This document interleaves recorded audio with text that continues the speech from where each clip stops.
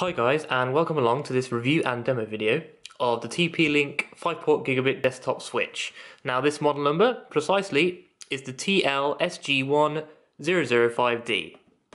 This switch is available in an 8-port version. They also do a metal version in 5 and 8 ports. Check out the links below to see this on Amazon. First off, let's have a look at the box.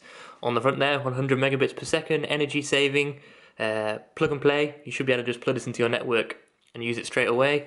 Uh, obviously, you know it's gigabit. Um, in my network, my router is only 100 megabit, so it's going to be limited to that, but I do plan on upgrading that in the future. On the side here, we've got the specifications, all the things it supports. I'll put a link to the TP-Link website downstairs for all that. Shows you a typical network setup, all the features and benefits. Let's find out what's inside.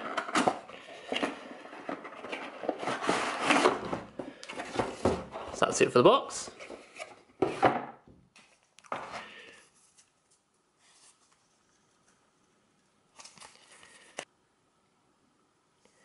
First up we've got the uh, bits and pieces about safety and that kind of thing. Then we've got some information about routers. Have a look at my review video of, have a look at my installation video of this router here. I'll stick it in the link below. User guide, we won't look at that. Plug and play. And then onto the switch itself. So we've got the power cable. Nice and long. Standard three prong power connection. And then the switch itself.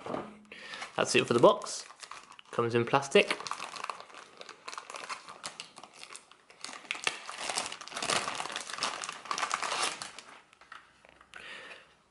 That's actually a lot sturdier than I was imagining it. So it's nice and nice and compact. Got the LED indicators along the front to show when things are connected, and the power, of course. On the back, you've got the five ports.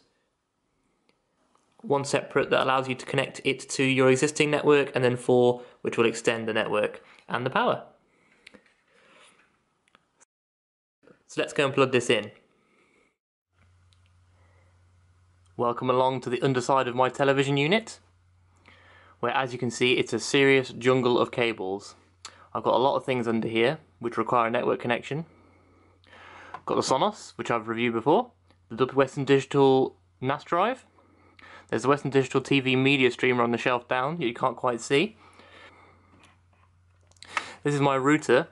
Uh, this is the one that ISP supplied. Uh, I recently changed to fibre and this requires a separate modem. I'm definitely going to be upgrading that in the future as this is only 100 megabit and it's slowing the network down.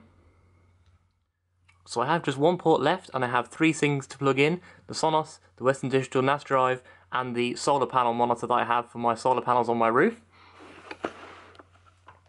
So what I'm going to do, so to install the switch I'm going to install a network cable between my last socket on my router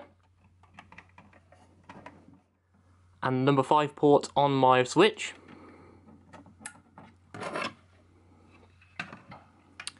I've already got cables in here for the Sonos and for the Western Digital, so I'll plug the Western Digital in to the next port along.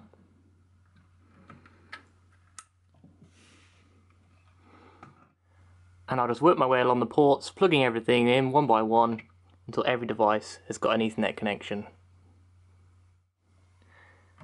So that's everything plugged in. I just need to put the power cable in the back of the switch into the port on the left hand side and all the lights will turn on and it will connect everything up. So that's all plugged in and lit up. Number one isn't lit up, but that's because the cable that is plugged into number one isn't actually connected into anything out the other end. So now you can see that all the other devices are plugged in and the network is connected because the green LED light there. Before anybody points out, that's the default password for my network. I've changed it. So overall guys, I would definitely recommend this switch if you're looking for a way of extending your network through its Ethernet ports. Um, if like me you've only got a 5 port router and one of the ports is used up by a fibre modem, then this is really ideal.